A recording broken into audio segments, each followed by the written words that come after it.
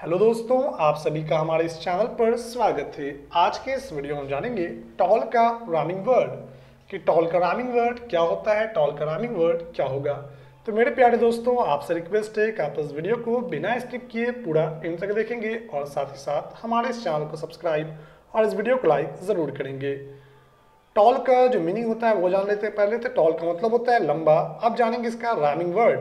तो rhyming word इसका हमने दो रामिंग वर्ड यहाँ बताया, फॉल और wall. Tall fall wall tall fall wall fall का अर्थ होता है गिरना, गिरावट, और वॉल का अर्थ होता है दीवार। तो टॉल का मतलब लंबा फॉल का मतलब गिरना, और वॉल का अर्थ दीवार। वॉल का मतलब गिरावट भी फॉल का मतलब गिरावट भी होता है। अब आपको कमेंट में लिख के बताना है कि टॉप क्राइमिंग वर्ड क्या होगा टॉप क्राइमिंग वर्ड क्या होता है। साथ ही साथ आप चैनल को सब्सक्राइब और वीडियो को लाइक ज़रूर कीजिएगा।